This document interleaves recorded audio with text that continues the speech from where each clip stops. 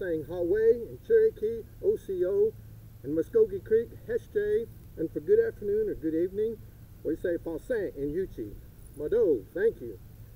I'm glad you're tuning in today. And for those, some of you have uh, never tuned in before, and um, today I always make it to where we can kind of review. So for those that are first-time viewers, you'll be able to see uh, this Indian Sign Language and be able to understand and pick up uh, where we've gone in the past. So it'll be a little bit of review. Let me set my drum here to the side and we'll go ahead and get started.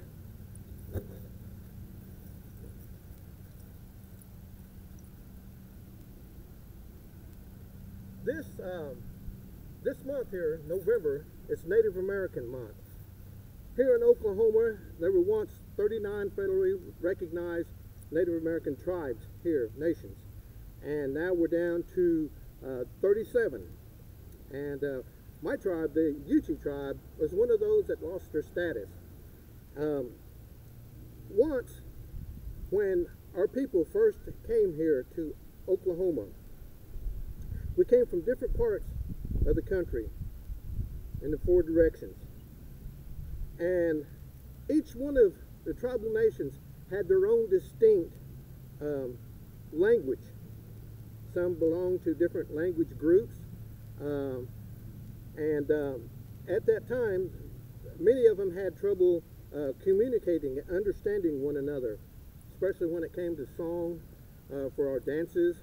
Because many times we would invite neighboring uh, tribal nations to come over and uh, they would have a, a feast and be uh, followed up with uh, singing and dancing. And that's how we kind of exchange things. Other tribes obtained rights for, some of these dances they, that we've done and showed. And um, this is where it's very important that today that we preserve our culture in, in, a way that we can pass it down to the next generation. Because uh, when I grew up as a little boy, my dad imparted into me everything that, that he had learned, what he had been told, and, and so we had to pay attention to what we were hearing uh, because there we can contain the, the, culture itself, the songs, the stories, you know, the rich history, uh, the way we dressed, the way we moved. Um, he was an artist. He was able to show me through, through painting uh, and the symbolism that uh, uh, reflected and represented uh, those indigenous people. And so culture is very, very, very important. So all bottled up, everything that, that's been deposited into me, I'm being able to live it through and to, to present it as a presenter, uh, as a dancer, as an artist, as an actor, as a storyteller, or a flute player, and now using this Indian Sign Language. The Indian Sign Language um, for us came about uh, through my great-grandfather, uh, Pahsetopah, Champanaji Pahsetopah, he's Osage. And he came into Oklahoma and walked across, came across, they come across that Neosho into Oklahoma, and he was just a little boy. At the age of 13, he uh, was in a horse race. It toppled over, and in that accident, he lost his ability to hear and to speak. And so from there, he began to, to, to pantomime, to communicate, to be able to use his hands with expression, with facial movements and gestures, and then later on in life, he grew up. He traveled north and lived among the Lakota Sioux for a time, which they were fluent in Indian Sign Language. And he picked up those expressions, those movements, those sounds with his hands. And uh, my grandfather, my uncles, my aunt, and a few of those that were close to him learned his sign language. My dad was a little boy and my uncle, but they can remember seeing my grandfather talking with his hands. So my grandfather, he knew quite a bit of that sign language. He was a quiet man, as well as my dad. But dad was able to, to use that and impart that to me. A lot of times when we were doing shows, he would tell me what to do by directing me with his hands. And I had to, to watch that because that was one of the things that I'd learned. I watched his hands when he was singing. I watched his hands when he was painting. I watched his hands when he was beating. Everything he done was with his hands, very creative. So he would give me those motions, those notions, what what I needed to do, hold my head up, to, to look around, to, to move. And so that brought an awareness to me. That later on I began to pick this up and man, I just knew what dad, almost what dad was thinking just by, by his movements, his body language. And so that's what we want to catch uh, in this uh, sign language. It's just not all just talking with our hands, but our whole body and character and everything is put in into that that sign language to express um, words. And what I would like to see uh, with this sign language is that we could get the uh, the other tribal nations, you know, just not just my tribe, but to be able to take maybe the Muskogee language and use this sign language, to put those words, and you hear this, the word, then you see the sign. The Uchis could do that. They could, and the Cherokee, Osage, and implement it with their language program to where we would get a full array of culture all blended in together. All right. Now, coming from from back here, moving to the front, is speaking to those those beginners, those first time listeners today. Okay? When I re- refer to me, I'll use my thumb. Now, sometimes uh, sign language people will use their thumb and point at you and not necessarily point at you with their finger, with their pointing finger, because uh, sometimes that's a, an offense. So we have to be very aware of that culture and how they, they do it. That's just like they're saying their names, you know. And the, the, the beautiful woman behind the camera here that's filming this, you know, this is my wife, Lisa. She's um, she's Pawnee, and so the symbol for for Pawnee would be like fingers, like that for those two feathers. If there was a Kiowa here, they had that. They'd do this. Um, that was the mark that whenever they were hunting, they would line that arrow up with that hairline. And um, earlier we was discussing this. Uh, say you were Lakota, uh, you would do this mark here, and that was because those people wore chokers. We always wanted to tell and present uh, tribal truths. That way we're not caught up in error and then people are misinformed because that's how easy our native culture is. It's been easily misunderstood, and so as uh, a culture preserver an educator, we want to present the facts coming from a native. All right, now, um, the Osages, you know, they, they had that uh, uh, the haircut down the back. They would use that. Sometimes they painted their face two colors, those symbols and those, for those warriors.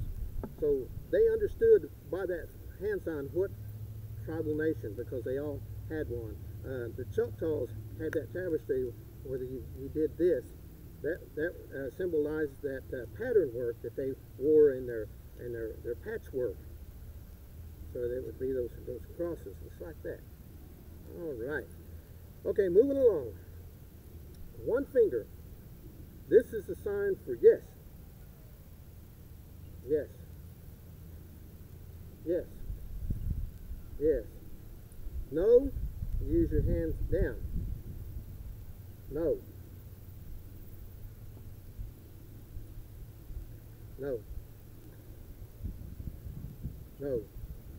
Now, the sign for tired is two, like this. I'm tired. For sleep, I'm sleepy. Or I was asleep. You might want to put your hands to the back. Was is in the past. Sleep. Now, so tired. Um, no. So you see the positions of the hands. No. Um, if something was bad, it would be this. It almost looked like go. Well, you know, whereas go is like that. It's expression across. Okay? Let's, let's go. And you maybe could point in that direction. So now, over here on this side here, um, for the sign of good, see a lot of times people think good is from the, the, the stomach, the bottom of the ribs out. But the stomach, uh, it, you bring your hand up higher from your from your heart. From your heart. Out. Good. Good. See, when we speak, we always want to speak from the heart. Now, here's here's one. Um, say something touched your heart. What it might have been uh, a, a, a, thought, maybe a, a, a name, maybe a um, maybe a dance, maybe something that somebody something that they're wearing, and it touched you in in a, in a way that it was your heart. You would go like that, almost like like or heart touching. Now, when it really touches your heart like love, you go like that. You know, like you look at your kids, look at your children, you look at the ways that we have, or we look at the Creator, we love. That. So these are some some um, different ones that we've never never used before um, in, our, in this uh, presentation. And so now, um, let me go back just a little bit here and bring some more things uh, for our new beginners, our, our new listeners in this. Now, if we wanted to, uh, let's say you were asleep and you was dreaming, and you could see that, that dream. Maybe you want to catch it. Catch it bring that dream to reality, to now, right here. Or if you was playing the sport and somebody threw something to you, like a ball or something, catch it.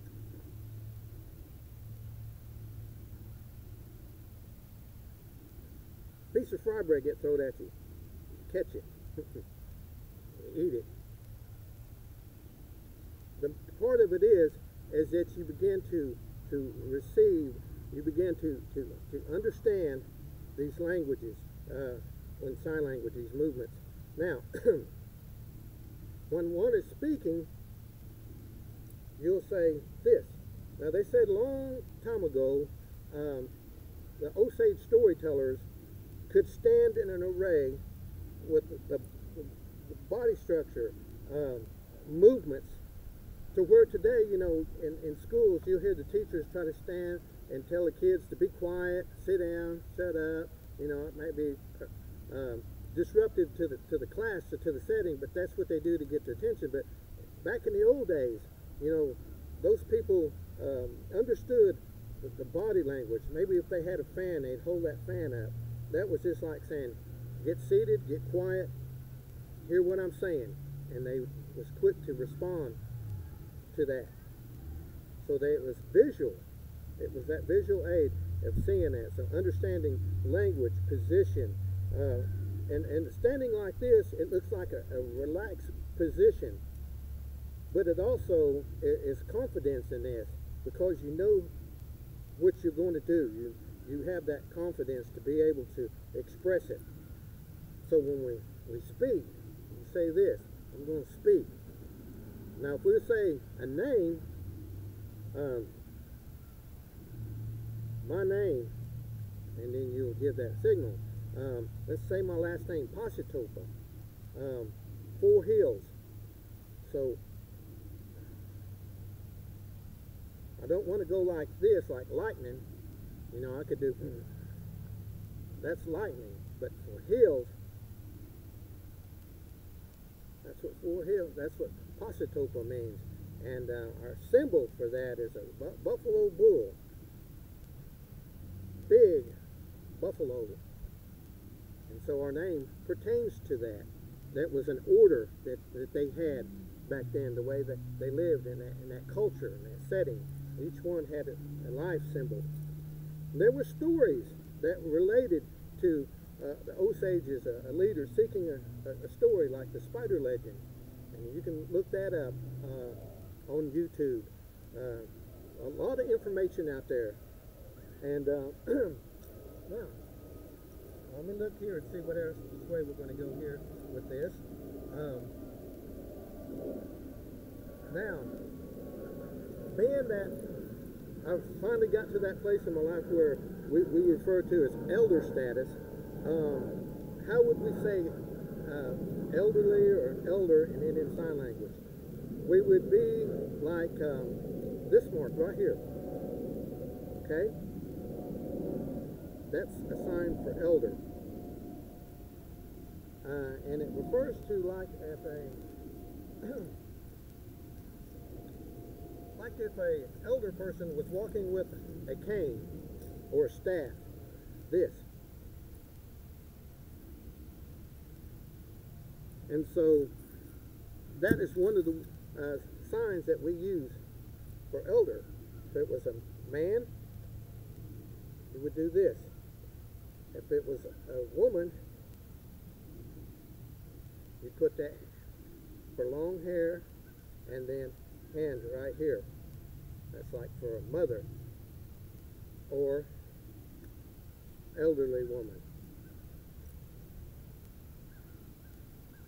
Man, this is always a sign they say for man. So, elderly man. A little uh, children, we do this. Okay? These children are mine. Well, these children are going, they're growing. You might do the mark for the stature, you know, the height.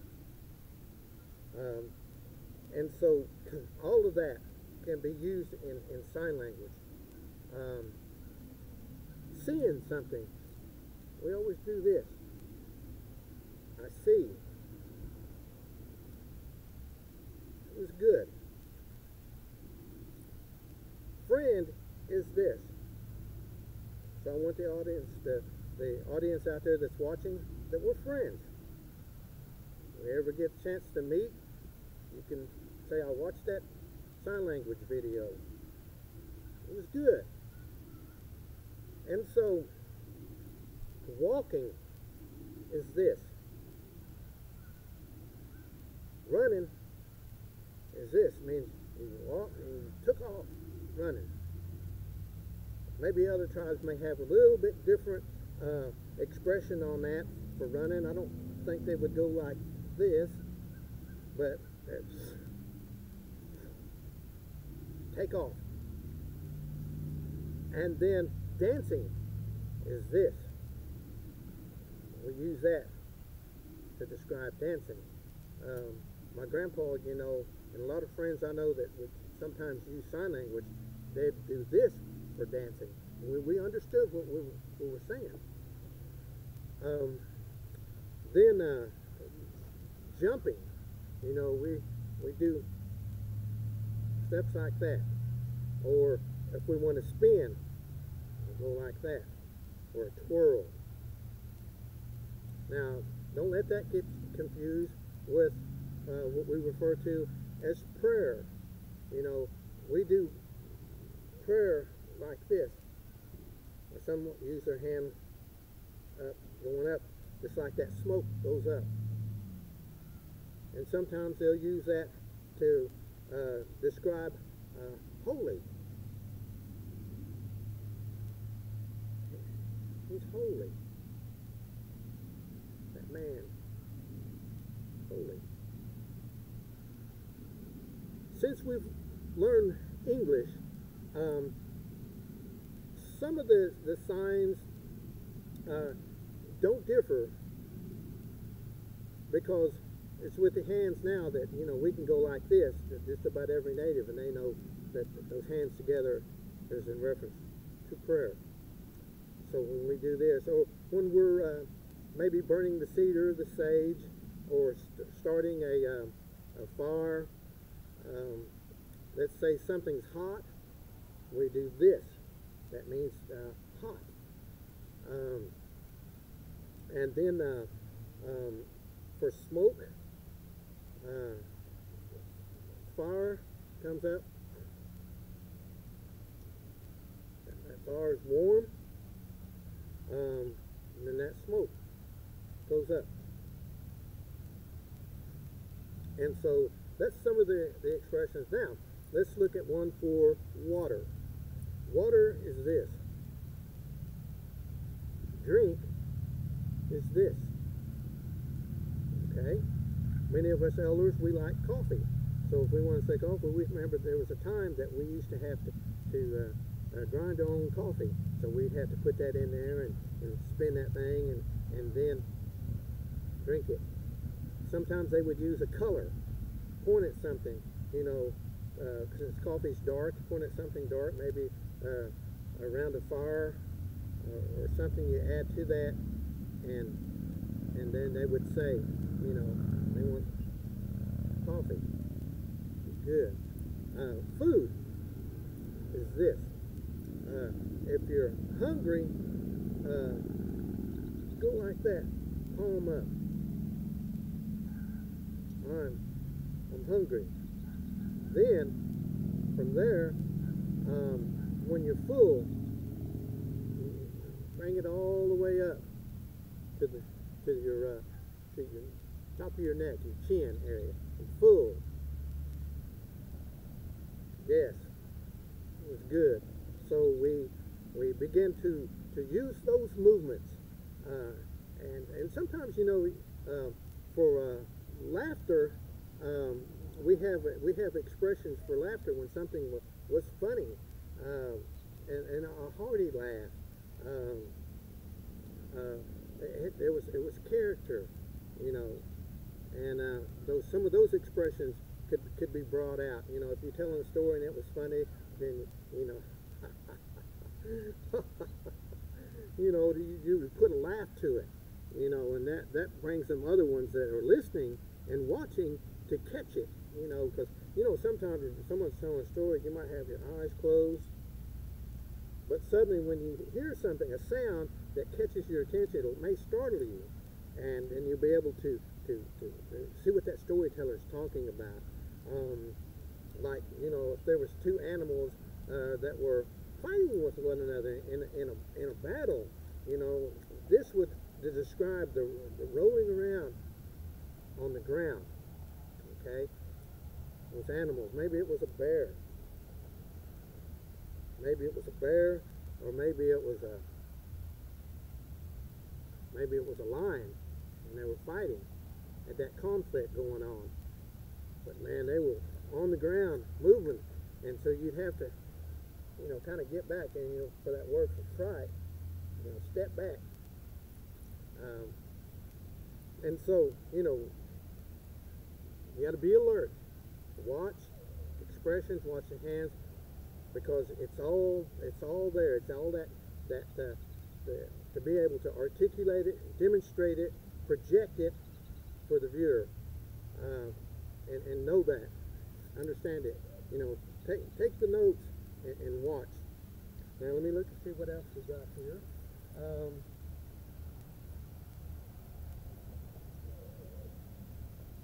now, let's say we're talking about uh, words of, of truth, honesty. We want our words to be straight. We don't want them. We don't. When we talk, we don't want to speak like this. That's that's. Those words are not not true. We want our words to be honest and true. To stand is this. Sometimes what we believe in here, we have to stand up for it, grasp it, take it, to receive it, to release, let it go, to disperse it, distribute, distribution, as we would say, for those young ones to, to see and to um, receive it. and then, um, just like right now, uh, I'm, I can see a lot of things going on right here where I am, and I, I can point out, and uh, maybe the dogs are running, uh, dog's tails is wagging, barking. Um, for let's say a horse this would be horse, and then you can understand it by writing, or